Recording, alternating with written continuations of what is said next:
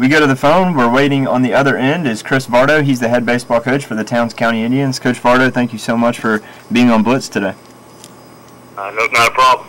Now, Coach, you're two and eight overall in the season, two and six right now in region play. Dissect the season so far for your Indians and how you feel the team's progressed throughout the year. We've uh, come a long way. We, I think we are definitely improving. We're getting more confidence uh, in the batter's box as far as swinging the bat. We're starting to, uh, put the ball in play and hit the ball with a little more consistency. And uh, that, I think, all started off with uh, my leadoff hitter, uh, Billy Meyer. I think he's caught fire he's seen the ball real well, putting the ball in play, hitting the ball and squaring up pretty well. Uh, defensively, we, we've shown some signs that that uh, we can we can uh, play with anybody in the league, but problem is is that we got to be able to uh, learn to put it all together. Uh, we have to learn to put uh, all three phases, pitching, hitting, and uh, defense together. And up to this point, we we put together twice, but uh, and we're, we're we're starting to progress, and we're starting to see that come around uh, as the season goes on. Um, some individuals like uh, Alan Turpin and uh, Kyle McConnell who've really stepped up. Taylor Denton has definitely shown some uh, some life and some spark, and, and we're, we're getting there. Um, now, Coach, I was also going to ask you about your depth on the team, and you've kind of already gotten into that a little bit. Uh, how many seniors do you have, first of all? Talk a little about that senior leadership that you've got, and then the rotation in the lineup, and then where it goes from there. Uh, we have uh, eight seniors on, on, on my uh, ball club, and uh, um, again, that that's uh, that gives us some uh, quality senior leadership. Um, we uh, it starts with uh, individuals that, that I've spoken of before, and, and they've been here, they've been around the block, but uh, we've also had some seniors that that are now just seeing a lot of a lot of uh, playing time. Um, you know, they've been they've been uh, called on to step up and, and uh, produce when uh, they, they haven't had to, and, and some have answered the bell. One guy that uh, definitely has done that so far is Taylor Denton with the stick. Um, he has two home runs on the year, and uh, he's swinging the bat very well. He's, he's got some uh, key hits uh, when, uh, uh, when when he's been called upon to do so. Um, but we also have some uh, young kids behind him that are that are pushing him.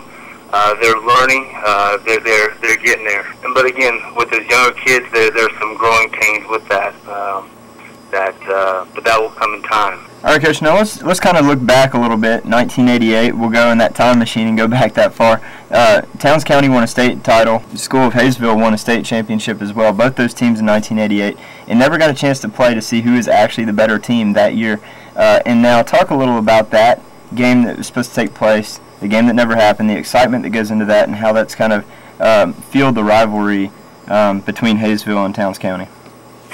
You know, uh, I, I think that there was there was a lot of excitement about uh, that game. You know, uh, living in this area for a while, you know, you, you hear about the '88 state championship teams on and uh, who is better, who is who is not, this and that. You know, especially since I work with a couple of uh, individuals who were on that team and and uh, also talking to a couple of the of the uh, players from the other team, and and each one gives a different side of the story: who is better, who is not. And, and you know, it it it, uh, it's, it creates an interesting debate about uh, which team was actually better. You know, uh, who was uh, who had, had the better players. But uh, uh, I, th- I think it does play in well. I mean, Hayesville and, and Towns County, I think, both had uh, have a uh, natural rivalry, especially being on uh, bordering counties. Uh, we have uh, similar kids, and the kids uh, do intermingle socially, and, and uh, which creates a, a atmosphere that you know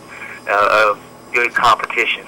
Um, the uh, whether it's basketball, baseball, uh, football, whatever it might be, uh, I, I believe the uh, kids on both sides uh, get up for that game. Uh, because it gives them a sense of uh, bragging rights and, and whatnot, and and uh, and the state championship and who was better who, and who was not. I think I think did add a little bit of intrigue and interest and, and a little bit of more fuel for that for that game. I mean, we're gonna have alumni from both sides uh, watching that game, and and uh, and then uh, we could say that that uh, which team was better that year. So I mean, it it, it does it did create some excitement, some uh, some discussion, and and I, I know uh, it, it would have been an interesting game uh, play. That is very interesting, Coach. And uh, Coach Vardo, we thank you so much for taking time to be on Blitz today, and uh, good luck the rest of the way. And we hope you, we hope to have you on here again sometime. Thank you.